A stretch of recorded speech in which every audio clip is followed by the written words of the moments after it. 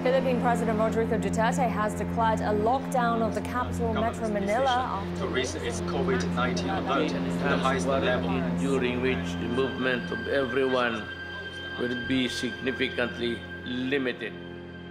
Nakadungog mi aning COVID ni adto pang February. Nya murag layo pa man kayo to kay gamay rang positive. Nya kasagaran gikan biyahe.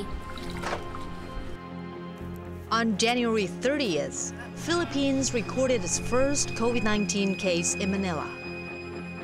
Unbeknownst to many, the virus would manifest a month later with over 100 cases spread across major cities.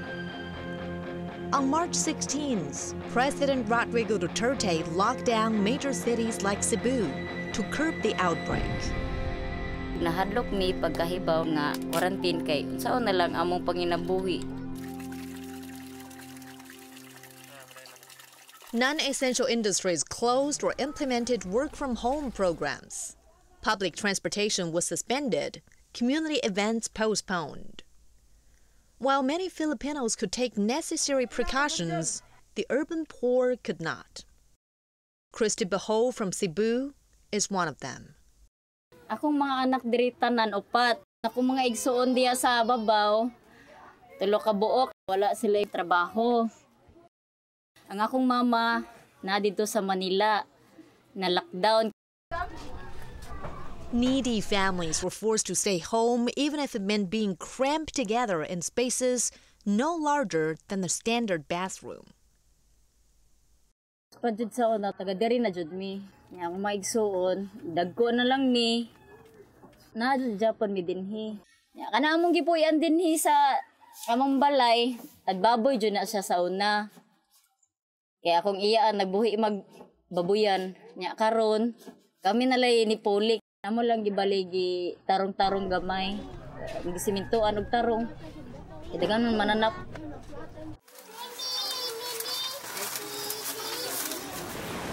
Around 20 million Filipinos live in slums, where they have to survive poor housing conditions, lack of sewage facilities, and little to no access to clean water.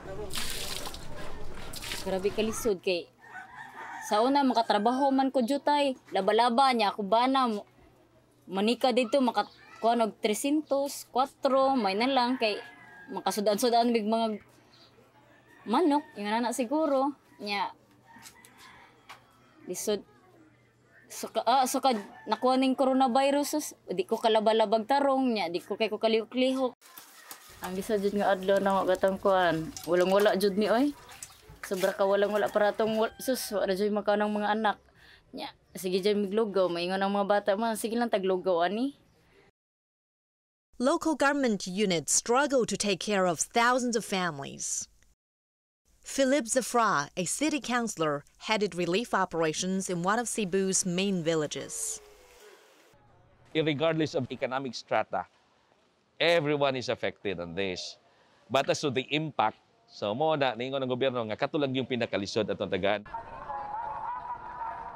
We are also preparing to provide them the provisions, the basic necessities and essentials. nagsalig ra pod mi sa ayuda sa barangay.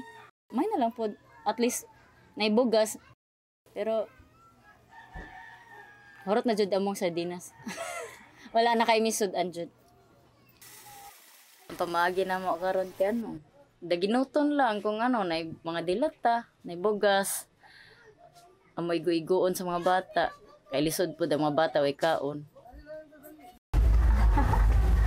When desperate, Christy resorts to stealing vegetables from her neighbors.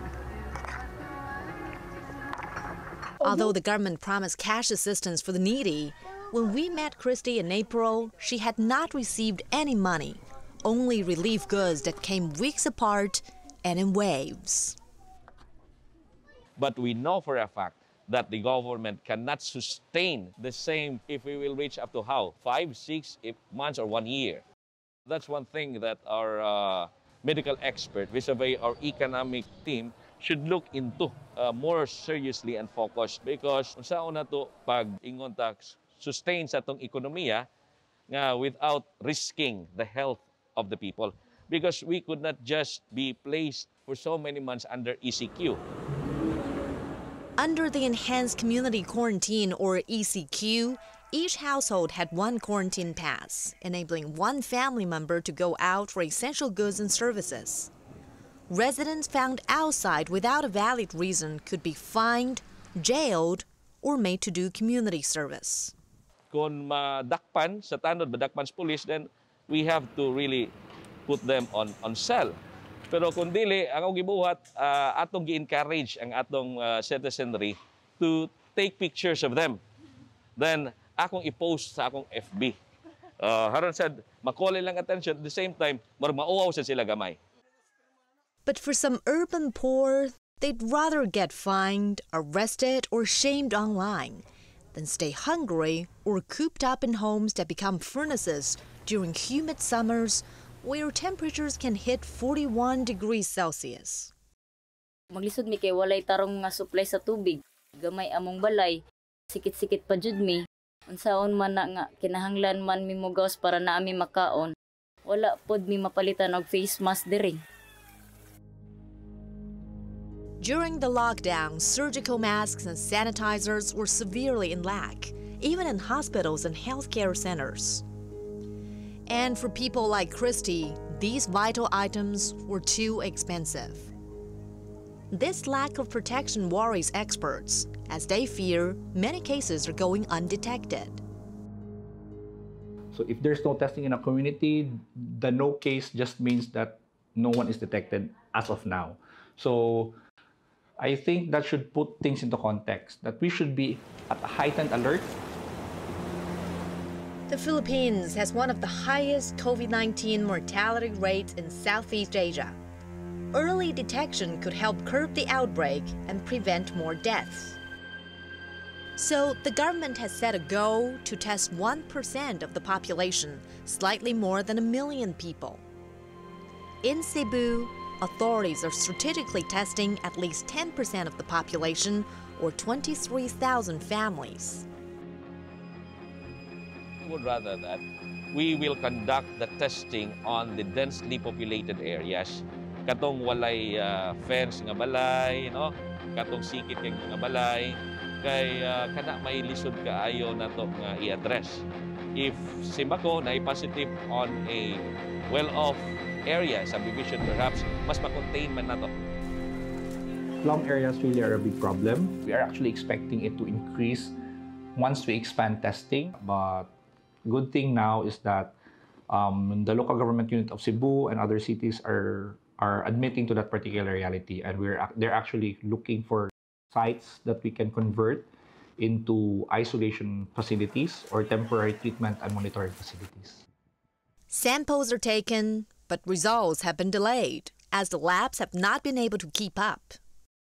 And for the low income, getting tested is a risk admittedly, ang uh, idea of healthcare is healthcare consultation equals cost.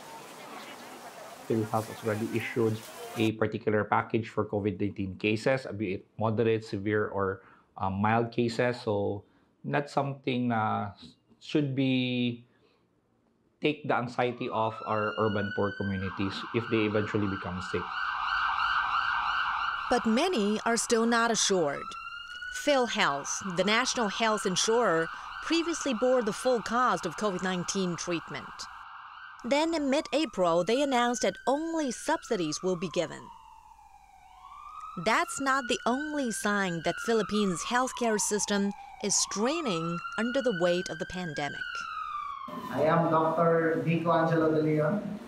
I am an anesthesiologist. I am the one responsible for intubating critically ill patients COVID-19 infected patients.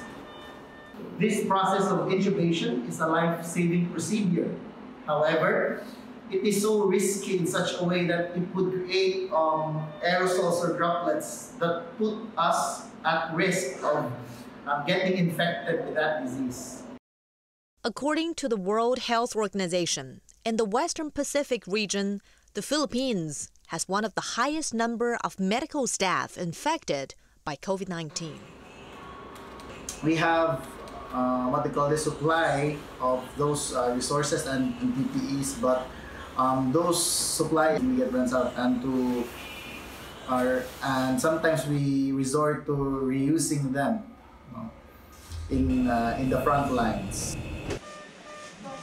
We're trying our best to combat um, these uh, deficiencies by procuring enough supplies and through uh, some donations from, from our donors. Philippines has uh, one of the highest uh, number of medical staff uh, infected with COVID, maybe because of the enormously number of um, patients coming in. And that um, though there are protocols stated, but uh, mostly they are due to uncooperative patients during history taking. Patients have been known to lie about their travel history and medical conditions out of fear of being shamed for having COVID 19. I encourage everyone to do their part by staying at home while we are battling this virus, while we are on the front lines. The message to Filipinos is clear stay at home to stay out of hospital. As simple as it sounds, it remains a feat for people like Christy. nga maglisod mi pangita og trabaho. Nya way sigurado among kwarta.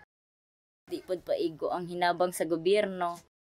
Wala kadawat tanan unsaon kaha ang pag-eskwela sa mga bata. Taganahan nga matakdan sila og masakit.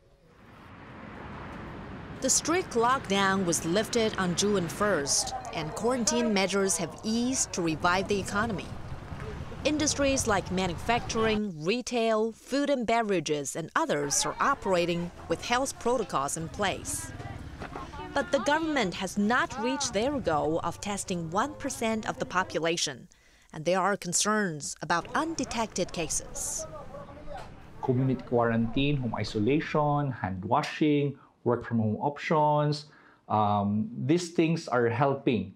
If you relax too early, you could see the transmission going to our vulnerable group. For Christy and her family, living hand to mouth meant the daily hustle was their only means of survival. The pandemic has made their difficult lives even harder. But she has not lost hope. Kad pa jud mi sa una, pobre na jud mi. Wa na lang ni dako ko. Mao Japon, pobre. May na lang gani pohon, akong mga anak, eskwelahon ako og tarong. Ya, patarongon jud ako eskwela kung mga anak pohon pohon lang di dili pa iparihan ako nga sekandira ko kutob. Ya. Nga lang gani kung maka eskwela gani ni akong mga anak makalingkawas mi jutay.